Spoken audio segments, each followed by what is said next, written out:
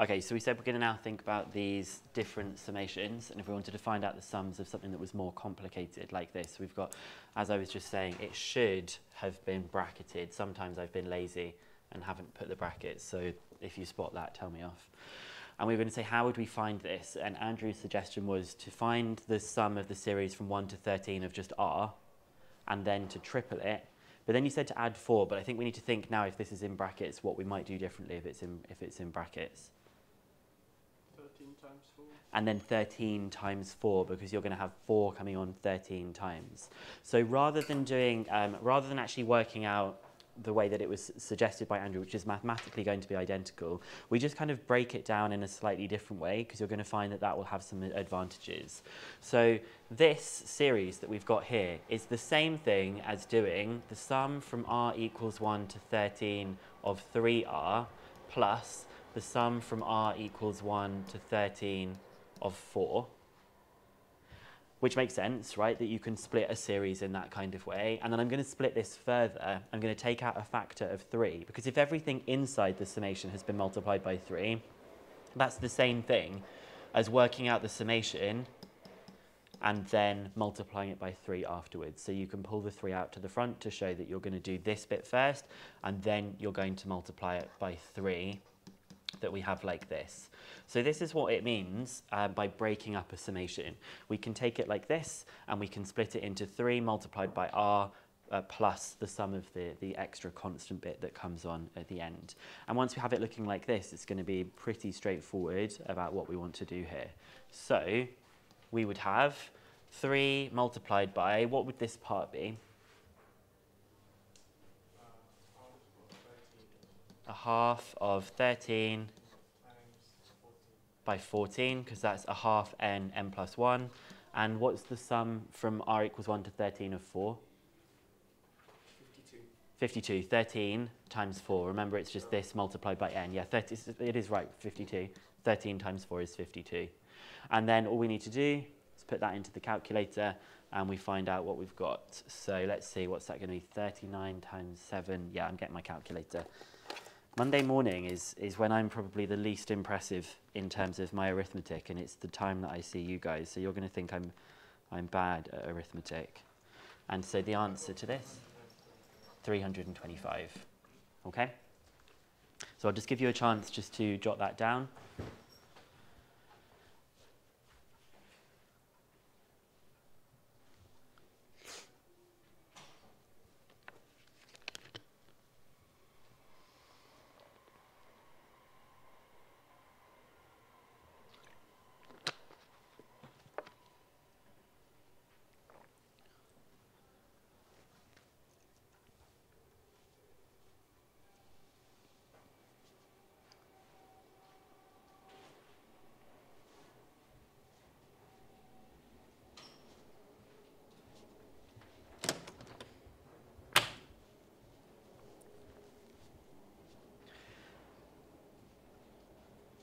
And so I think it was Andrew that said this last time, but Andrew was like, um, you know, when we, we might have said r equals 1 to n of 3r plus 4, and he said, oh, could we just work out a formula for that one? And I was like, yes, you could work out a formula for what that might be. But you can see by doing this process here that we don't actually need to work out a formula for specific series. All we really need is the formula for this bit that we've got here.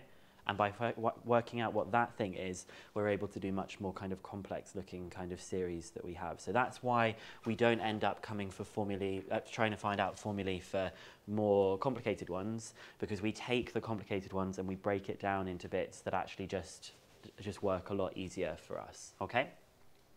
So we'll do um, a couple more examples here. These are kind of like a part A and a part B kind of question that we have here. So let's start off with this one that's on the left-hand side. And we're going to show that the sum of, again, this should have been bracketed. Um, the sum of this between r equals 1 and n plus 2 is equal to 2n brackets n plus 2. So I'm going to begin by saying that from r equals 1 to n plus 2 of 4r minus 6. Marco, would you be able to say what this is written in its kind of broken down form? Yep. Without the brackets. Or you, you can do it without brackets. Oh, you can do that. You can do this without brackets. Yep, you can just put a big 4 outside the front knowing that it's being multiplied.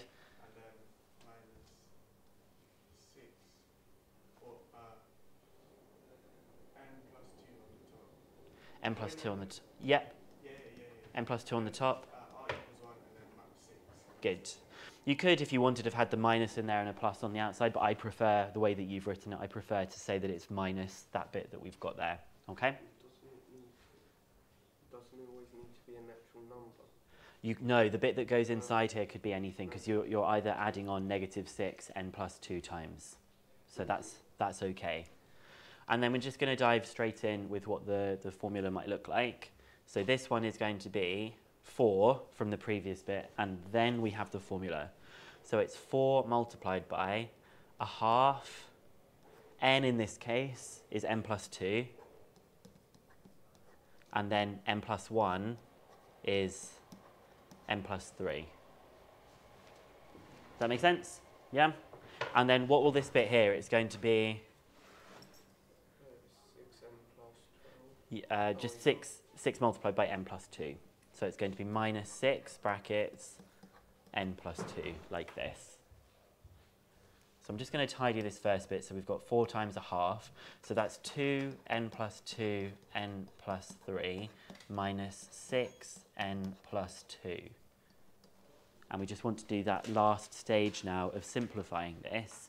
By simplifying this, um, what should I do? How should I simplify this? Uh, take out the common factors. And the common factors are Two n. Uh, two brackets n plus two. brackets, n plus 2, and then I'd probably do square brackets to show I'm factorising with another bracket.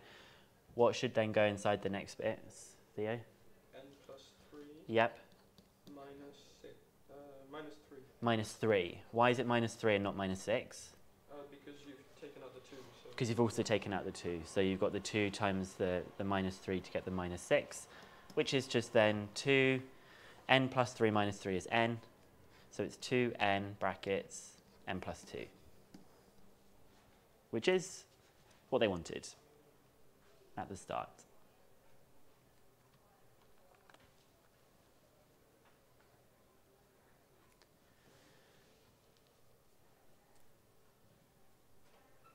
Okay.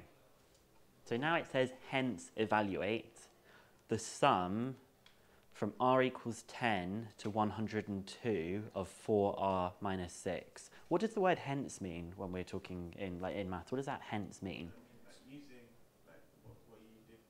Yeah, using, like I said, this was like part A of the question. It kind of means using part A. They sometimes say hence or otherwise, meaning you could do it a different way. But if it ever says the word hence, please try and use what you've previously done because it's like a pathway that they're trying to lead you down to get to the answer. So before we actually can use this, what do you notice about this that's important to, to be careful of?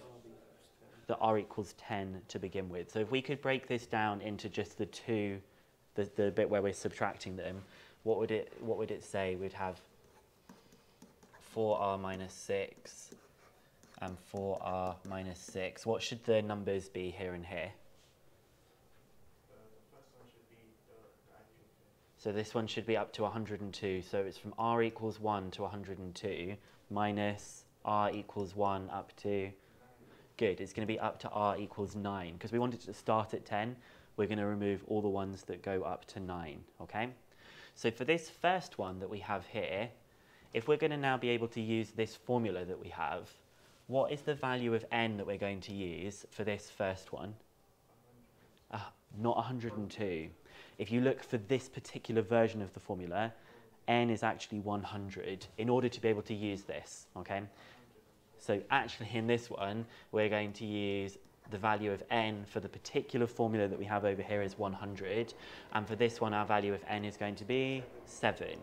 Now that, because what's, sorry, let me just, before, before we do that substitution, the reason we have to use these values of n is because this formula down here only works for this particular setup that we've got, which started with an n plus 2, okay? So all we're going to do now is substitute these values into this.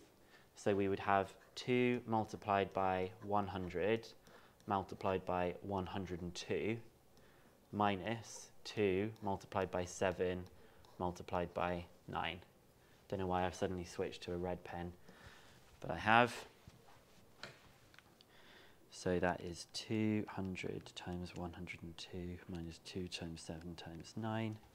And the answer is 20,274.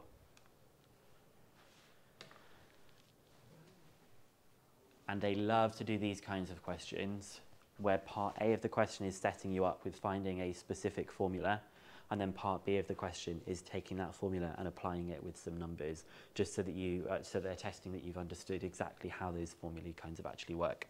So we're going to have a look at exercise 3A now, the second half, because the second half of exercise 3A allows you to break up some of the summations as well, okay?